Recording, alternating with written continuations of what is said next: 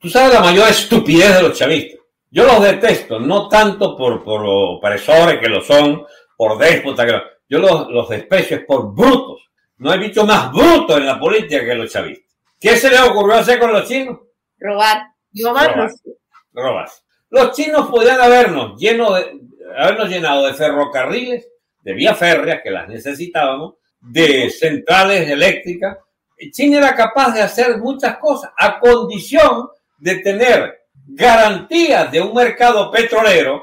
Hubiéramos podido producir 5, 10 y 15 millones de barriles, garantizándole a China 10, 20 años de, de petróleo incluso más barato. ¿Cuál es el problema?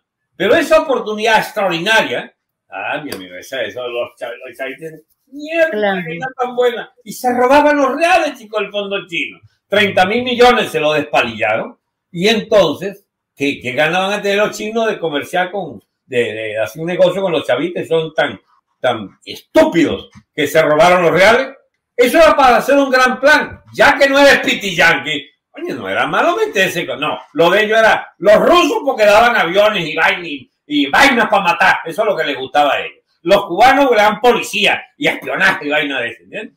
Los yanquis se fueron para el carajo. ¿bien? Andan por ahí todavía y están queriendo volver.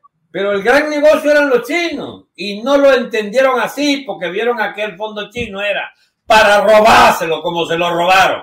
Así es. Yo lamento mucho que hayamos caído en manos de estos zarrapastrosos chavistas, porque significa que no tenemos ya ahora, ¿sabes? ¿Con quién lo vamos a aliar? Volviera entonces así que, que bandera cómo se ve de bonita la bandera norteamericana al lado de la bandera nuestra, porque el pajuato maduro. Pero Dios mío, ¿dónde estamos? Es algo así como dirigido por imbéciles. Ya que te vas a meter en la política mundial, yo creo que Chávez algo intuía de estas cosas. Pues Chávez está bien, era un tarado ideológico, digamos, mezclado. Pero Chávez como que veía oportunidades por ello, por lo menos hablaba de esa vaina. ¿Ustedes no acuerdan cuando la agarró con el gas? Y el gas iba a hacer una tubería que llegara a Buenos Aires y tras y Chávez mata en ese. Él, él, él llegaba a soñar. El defecto de Chávez era que él creía que cuando terminaba de hablar ya la vaina estaba lista. O sea, este, había gas y había conexión. Con su cadena de con eso ya él tenía suficiente. Y así todo, todas las vainas de Chávez eran así. Él las hablaba y ya las hacía realizadas. No, Piazza sí. Bruto, necesitaban 10, 15 mil millones y 5, 6, 8 años de instalar esa tubería y, la, y, las, y las, ¿cómo se llama? Y las, y las plataformas gasíferas. Trajeron una remolcada, yo no sé dónde, y la dejaron hundir, hundir, ahí en el Golfo de Paraguaná, el Golfo, perdón, de Paria. Resultado, al carajo el plan del gas, al carajo el plan de PDVSA, al carajo la refinería. Miren ustedes lo de la refinería. Yo no sé si Maduro amaneció por fin de un lado en que le permitía pensar la, la, la cabeza, pero llamaron a los iraníes.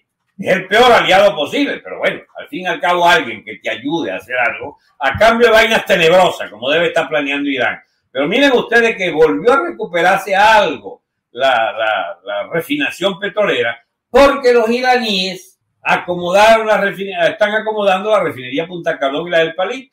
Entonces ya estamos en 400 mil barriles diarios de, de mejoramiento, pues, de refinación. Y eso puede llegar a un millón, a un millón de barriles. De verdad, esa. Pero ustedes saben cuándo la pudo hacer, para que vean la vergüenza de gobierno que tenemos, cuando Estados Unidos le dio permiso. Porque toda esta recuperación, sí, te ayuda a Venezuela, que se está recuperando, este con permiso yanqui, chicos. Fueron allá, mandaron una delegación del Departamento de Estado, y yo, mire, olvídese, no, que Guaidó, olvídese ese bolsa, le habrán dicho, entonces vamos a entendernos nosotros. Y se entendieron, la Chevron vuelve a meter aquí una plata, etcétera, y ustedes nos dan cuatro, quinientos mil barriles diarios de petróleo.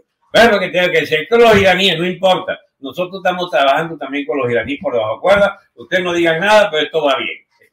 Entonces hay una apertura del chavismo con el negocio petrolero, cuando por fin los yanquis le dieron permiso. Ven ustedes la clase gobernante que tenemos. La gente puede decir, pero este no tiene paz con la miseria. Si estaban, si no estaban porque no estaban, y si están porque están. Es que, es que hay maneras de hacer las cosas con alguna dignidad. Y, la, y como lo hacen los chavistas, en medio de la abs, absoluta indignidad. Te enredaste con los rusos y no le pagaste la chatarra militar. Está bien, se te pasa porque era vainas militares.